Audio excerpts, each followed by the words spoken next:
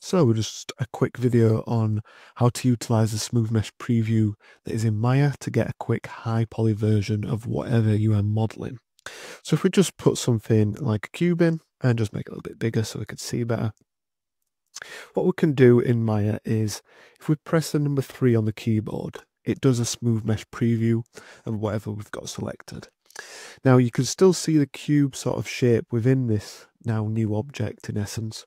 Um, and what this does is it essentially looks at the edges and it sees the ones that are closest. So for this edge right here, this one is closest and this one, and it averages between them.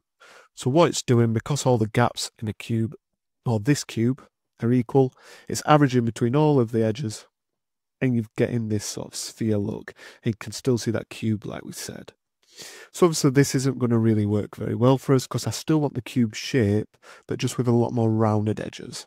So what we've got to do is something, uh, or a, a workflow called placing holding edges, in essence. So obviously there's the multi-cut tool if we want to put an edge loop in, which sits, is sat here. It's in Mesh Tools, or we can Control Shift X. And if we hold Control, we could put that edge loop in.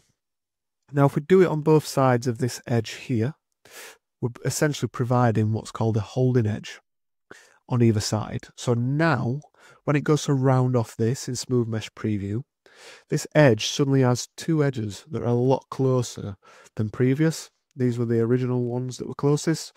It's now you going to use these two that are really close. And when we go back onto that Smooth Mesh Preview with the 3 button, you can suddenly see that it's really changed how it's um, smoothing the mesh. And that's because it's averaging between them two holding edges that we've put there. And then the holding edge is averaging to the one that's furthest away.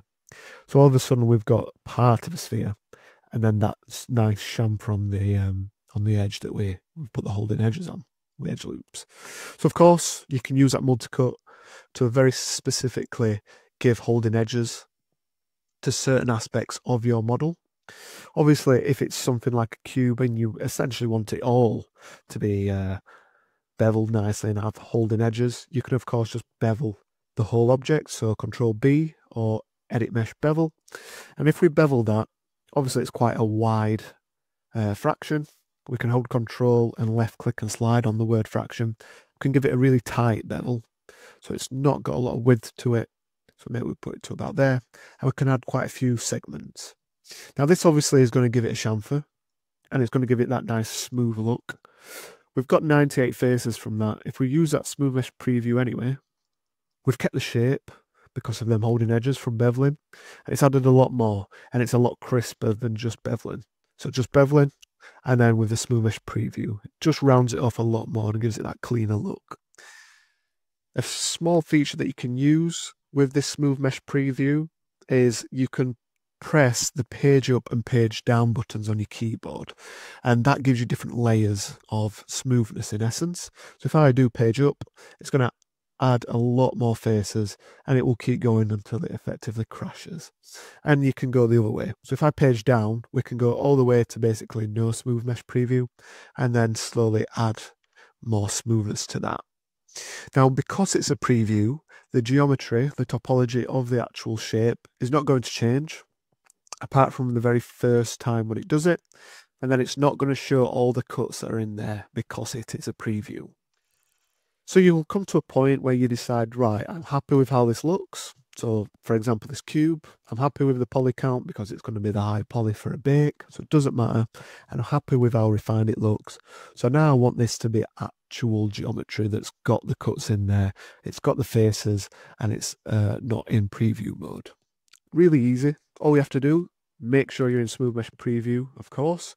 Select your object and we can go to Modify. We're going to convert and we want to convert from Smooth Mesh Preview to polygons, which in essence just basically puts them cuts in. And you'll see on the cube when I click that, we've suddenly got the topology now.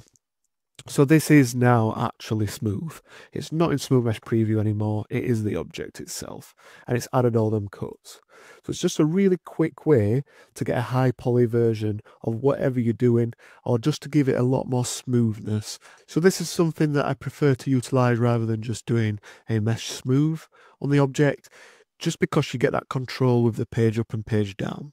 So you, you're getting the flexibility to be able to see uh, what it's going to look like before you actually do the function. And you can obviously manipulate more to what you like. Um, it does run a lot easier when it's in the preview mode. So you can still work on the fly with it. So if I add the cube over here, um, it's bit, a little bit jarring um, to work whilst it's in Smooth Mesh Preview, but you can. So if you just did a smooth, you obviously couldn't. I can put the um, multi-cut tool on and put them holding edges in whilst it's actually in Smooth Mesh Preview. Like I said, it's a little bit jarring, but it is something that you can get used to.